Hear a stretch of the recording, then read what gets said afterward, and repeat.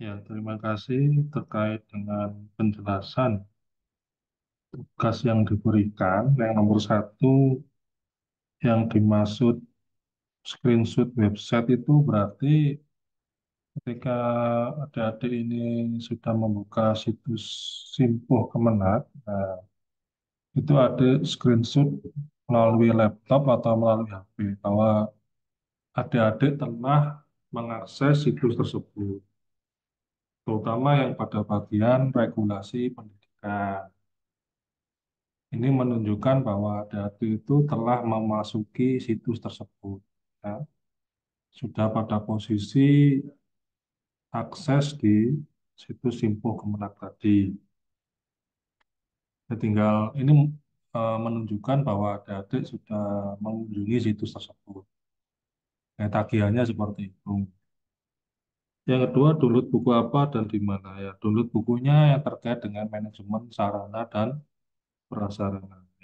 Jadi Yang di-download adalah buku-buku yang bertema manajemen sarana dan prasarana. Ya, kalau bisa jangan hanya di-download saja ya, terlalu kecil. Kan tadi saya ingatkan bahwa tugas mata kuliah ini kan pertama mengumpulkan informasi, setelah informasi itu kemudian dikumpulkan, selanjutnya adalah mengolah informasi. Mengolah informasi ini dilakukan agar informasi tadi menjadi pengetahuan. Nah, kalau bisa men- menjadi pengetahuan, maka adik-adik bisa menghasilkan kecerdasan. Oleh karena itu, caranya dari informasi yang ada diperoleh di buku maupun di eh, Simpuh Kemenak tadi berupa peraturan, misalnya ya, Undang-Undang Nomor 20 Tahun 2003 tentang Sistem Pendidikan Nasional. Nah, di situ kan ada dijelaskan tentang ke- ketersediaan pentingnya ketersediaan sarana dan prasarana. Nah, lalu bagaimana adik mengomentari?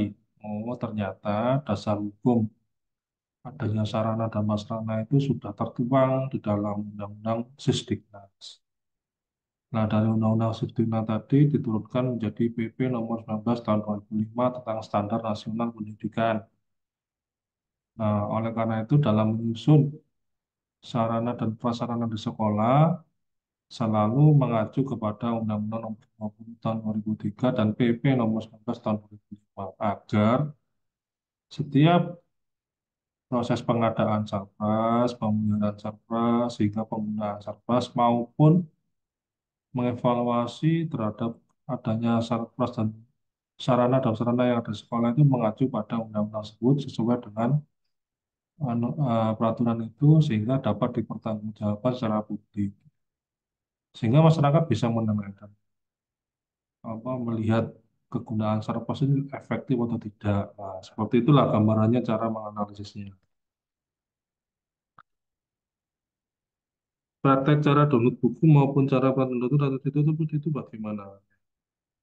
Nanti setelah adik-adik mengumpulkan, yang nomor empat itu saya mengomentari bagaimana kualitas dari hasil kinerja adik-adik. Loh. Ini nanti satu persatu saya akan review dan komentari lewat YouTube seperti ini. Karena kan eh, keterbatasan waktu ya, sehingga lebih luasa.